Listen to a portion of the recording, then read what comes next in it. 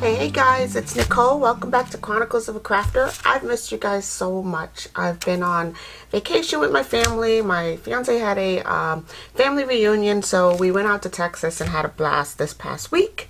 And I've missed you guys. I'm so glad to be back in my crafting space. And um, I just wanted to show you what I've been making while I was on the road. I picked up some um, some old books. And from those old books I deconstructed it pulled out some papers.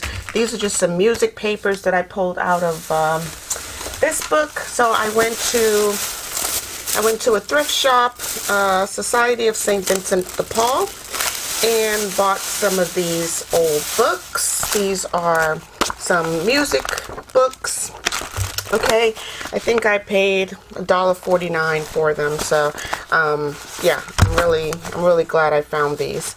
So what I've done was I took apart a couple of the pages right out of the center and started folding them up and I came up with this cute little envelope that can go into any junk journal either as a tuck or you can glue it directly down and tuck things into it. So yeah, I just um, started working on this fold pattern here.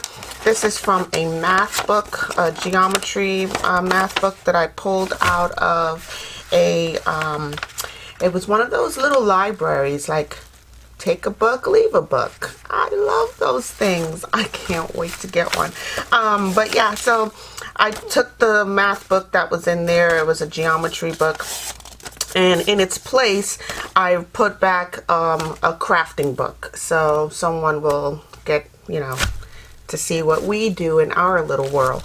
Anyway, so I started folding these pages and um, came up with this little fold pattern here and made this really adorable envelope that can go into any junk journal again and inked around the edges popped a little bit of glue down the sides. So again I was bored on my travels. We drove all the way to Texas and this is what I came up with. So yeah I've been um, mass making these to go into um, my Etsy shop. So I just figured I would show you guys what I was working on and perhaps you can um, craft along with me. So I'm just going to show you what the, um, the basic fold is. And yeah, it's really simple. It can be made out of anything. This is a magazine uh, page. So I pulled this out of a travel magazine from the state of Texas. And yeah, it's just a basic fold. And now you have this really cute envelope. All right, so let me grab, I'll grab another sheet out of my music book. I like to remove them right from the center here where the staples are. It makes it a lot easier to um, detach. So I'm just going to hold on to both of these pages together.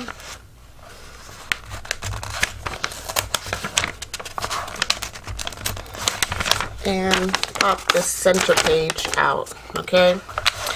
There isn't a lot of notes on this page particularly, but on the inside here is where the majority of the song is. I'm just going to move these out of the way. So yeah, I've been um, making them um, in stacks of similar. So like I will make a stack of 10 or 12 of the music paper and then I'll make a stack of 10 12 of the math book. and um, yeah, that's pretty much what I've been up to. Now to get this to tear evenly, I just bone fold down the center there. There we go. Alright, so to begin with, you have to decide which side you want for the inside, which side you want for the outside. And here, just by looking at, let's look at this one. So here is the sheet. And you can just follow along with this, um, this design. All I've done really was put my paper down here in the corner of my mat and I used the 45 degree angles on on the mat itself and I just folded a 2 inch 45 degree angle um, in the corner here. You can make it a little bit bigger or smaller.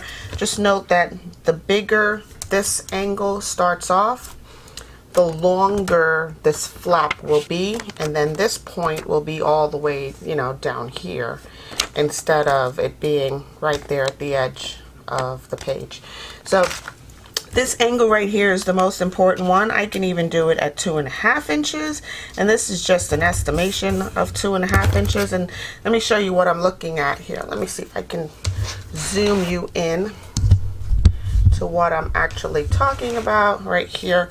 So this right here is my two inch, okay?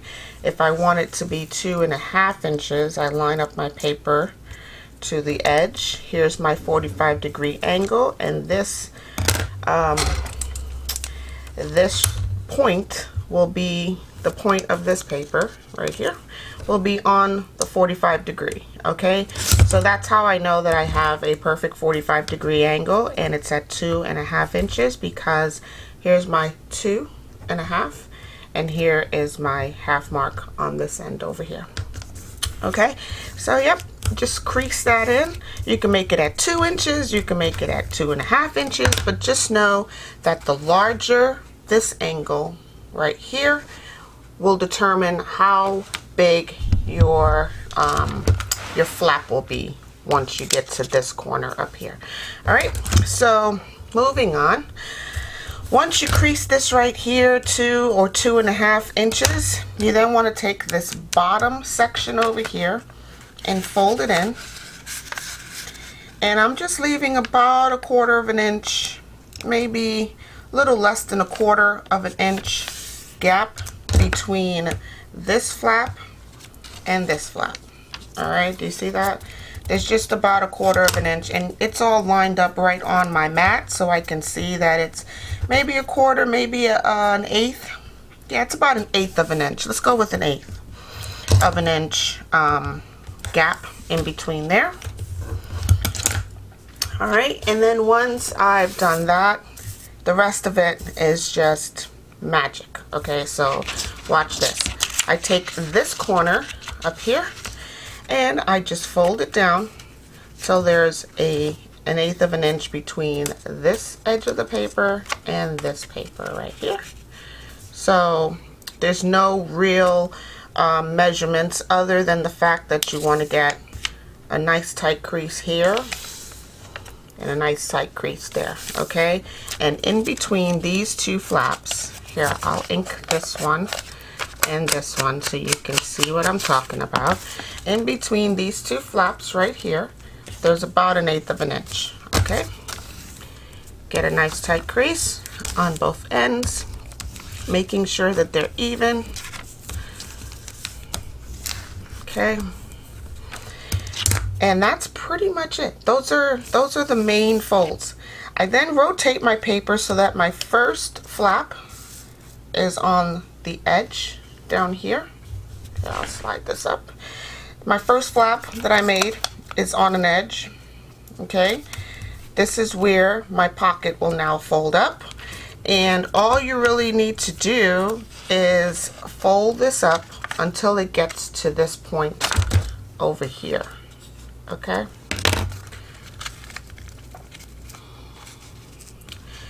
So now we have this. Isn't this cool? This is already looking like an envelope. And to finish it off, you just take your top flap and bring it down. I've tried all different measurements, all different um, types of paper. Again, the music paper all came out of the same book, obviously. The math pages all came out of the same book. And you will get a variation of um, the size of the flap based on the size of this very first fold right here because that'll determine where everything else folds in okay so I hope that helps you guys um yeah so that's that and uh, yeah, now we have this cute little uh, envelope. As soon as we glue down our edges, and it has like multiple tucks on the inside. So let me just show you what I mean by that. I'll find one that I've glued. So here's one that I've already glued. And I will grab a, excuse my arm, a little, I'll grab a little tag right here just to show you what I'm talking about. So on the inside of the envelope, we have a big tuck back here. Okay, so this entire section back here, you can put uh, just about anything. Here, I'll grab a postcard. Hopefully this is wide enough. Yeah. So yeah, you can tuck a large postcard back there. Okay. And leaving that in there, we now have this tuck section right here in the front. Okay I don't know if you guys can see that really well but um, yeah we have a tuck section right in here. And um, if you do not glue down your flap you then have another tuck section on the front side. So you have a tuck section back here and then a tuck section up here. So you can get let's see multiple cards in there. I don't know if these are all the same size but yeah there's that one. And then this one will tuck on the front side of it depending on how close your glue is to the edge okay? So that's the important factor is getting your glue uh, very close to the edge so that you have more spaces to tuck. So I have three tucks or you know inner pockets here in this envelope all right so let's just go ahead and pop some glue on this. Oh, the other thing is if you want to ink, now is the time to do it. So I'll show you what my envelope looks like. The important sections to ink would be, of course, the outside fold here, the sides down here, this little section right here, okay? And, of course, the top part. So here, I'll show you. This is the areas that I would ink right here okay right along the side here this side okay and then up here because once this folds over it only needs to it only comes up about halfway or maybe a quarter of the way on this edge and then um, of course I would ink all around the edges so you can do that now or later. I like this little frayed edge for my flap. It gives it a little bit more distinction and, uh, and style. I'm not going to um, worry about cutting that edge straight. So here when I fold this over, this side needs to be inked. Okay, and then my flap. So I'll ink the flap. Okay. Alright, and then of course the entire backside can be inked if this is a removable, so yeah, and that's it. And then I'm to put um, some glue down on here. I'm just to use for time's sake uh, art glitter glue. I hope it's I hope it's behaving. I, I'm telling you guys, I have not been in this room. Uh, I got home late last night, so I haven't been in this room in over a week. So I'm not sure if my glues are behaving, but art glitter seems to be working out. And you're going to put a little bit on this section right here because that's all that's going to be closed in. And uh, yeah, just use your fold lines to get that glue right onto the edge. Alright, I'm going to use my dry wipes to clean up any excess that may have oozed out. Okay. And now we have that. Isn't that cool? I mean, it's so simple. We can do multiple of these within, you know, the hour. So, and that's how riding along in the RV, that's how I ended up with this. So I hope you guys enjoyed this video. I'm telling you guys, I am very happy to be back. I'm, I missed you guys so much. So I want you guys to have a crafty day. Go out and do something wonderful and stay naturally curious. And I'll talk to you in the next one. I'm just sitting here. I got time. It's clear to see From up here, world seems small, we can sit together.